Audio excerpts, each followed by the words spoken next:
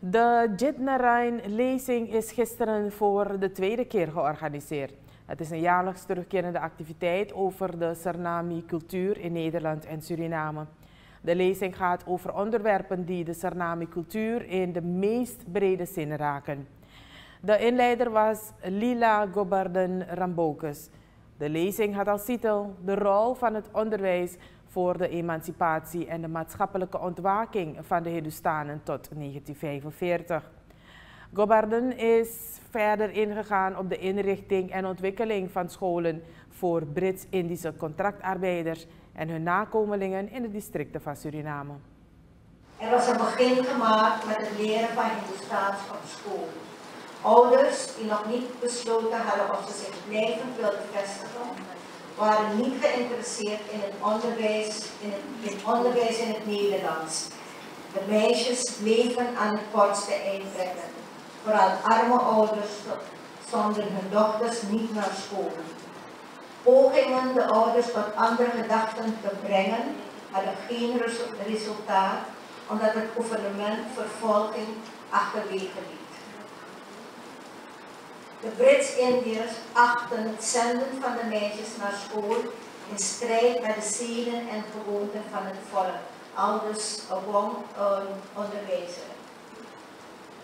Die reageerde op een verslag van een vergadering van de Surinaamse Immigrantenvereniging. Hij wilde daarom van het bestuur van de SIV, die ook deze duizenden meisjes vertegenwoordigde, weten hoe het tegenover het schoolbezoek van meisjes stond. Het tweede gedeelte van de lezing is verzorgd door historicus Jerry Egger. Hij is nader ingegaan op de presentatie van Gobarden en zegt dat haar presentatie heel wat belangrijke stukken omvat over de culturele ontwikkeling van Suriname. Een aspect van onze geschiedenis waar er nog niet zoveel over is vastgelegd, benadrukt Egger. Dat moet, want zonder context is het de opzomming van jaartallen en gebeurtenissen meer niet. Pogingen om onderwijs te geven aan contractanten passen in een bepaald beleid van het Nederlandse koloniale beleid in Suriname. De weigering van deze Britse Indiërs in de beginfase om meisjes naar school te sturen past in een bepaalde opvatting van de rol van vrouwen in de Britse Indische cultuur.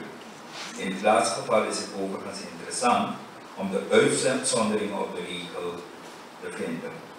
Een mooi voorbeeld hiervan is Alice de dochter van de bekende Dolce Albershak die daar kort over heeft gehad. Haar moeder stuurde haar naar een katholieke school zonder dat haar vader ervan wist. Zo kreeg zij dus onderwijs als enige Hindustaans meisje op de hele school, dat haar in staat stelde te lezen en te schrijven. Vooral de verschillende vreemde talen die zij kreeg, zoals Frans, Engels en Duits, hebben haar gegroeid.